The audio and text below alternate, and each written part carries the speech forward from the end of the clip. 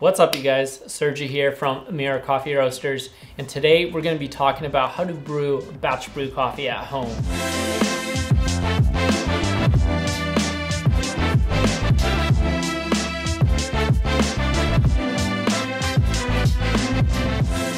So we're going to dive in. We're going to talk about two different things here. Two major things is going to be your brewer and then your grinder. And those are very, very important parts of the brewing process, but also not forgetting that scales are gonna be important as well. So first off, your brewer is gonna be, um, it doesn't have to be anything fancy. This here is my favorite, it's the Bonavita. And what it does is it has a special kind of spray head on top that distributes water pretty evenly. Therefore, it makes it a little expensive on the expensive side. I bought it for 200 bucks but it's definitely worthwhile the investment. Um, you can also go to Target, just pick up a batch brewer there. They have a ton of batch brewers, or you can go to SCA.com and research what are some more expensive ones.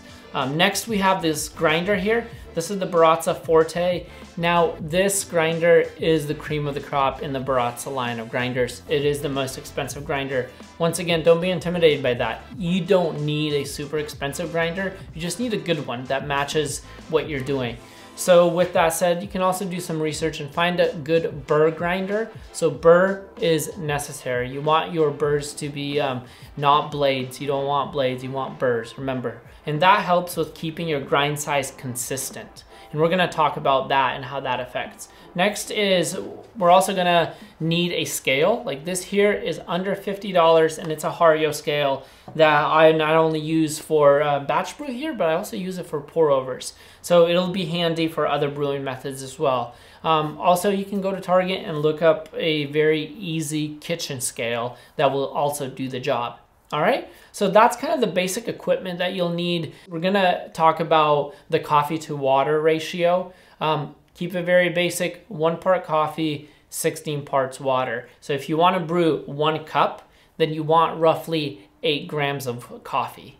All right, so then multiply that by more, then you can do the math and add as much coffee you want to water. And that'll kind of give you the standard recipe and ratio, but you can also adjust that to taste. All right, so we're ready to go. We already have some coffee pre-dosed to 70 grams for eight cups of water. So we're gonna brew some coffee, let's do it.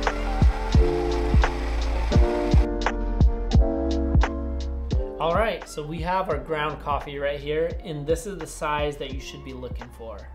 So it's quite even, um, there's no chunks, it's not super fine. It looks good to me. All right, so now we're gonna add some water. Just make sure you don't make a mess, that is key. Now that we have our water in there and we have our pot ready to go, I'm gonna add some of this coffee to the basket with a filter in there. I always give a couple of taps to make sure that bed is even and there's no like bumps. And then we're gonna start play. Y'all ready for this?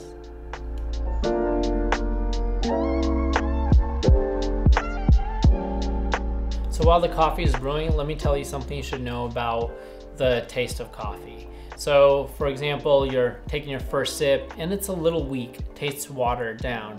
Basically, that's a fairly easy fix. You should just add a little bit more coffee.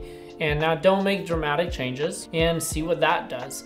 Now, if your coffee is tasting sour or tasting bitter, that's a grind size error. So if it's tasting sour, make your grind size a little finer and it'll extract more. If it's tasting bitter and making your mouth dry, then make your grind size a little coarser. So it's about finishing up, making all those noises for us, and we're about to give it a try.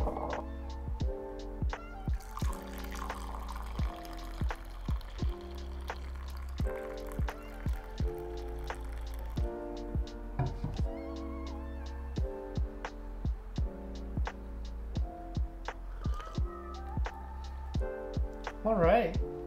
Wow. Now that's a cup of coffee. Definitely those almond notes in the back end, picking it up, loving it, enjoying it. Just the right strength. Guess we nailed the dose, nailed the grind size, and now it's just time to sit back and enjoy.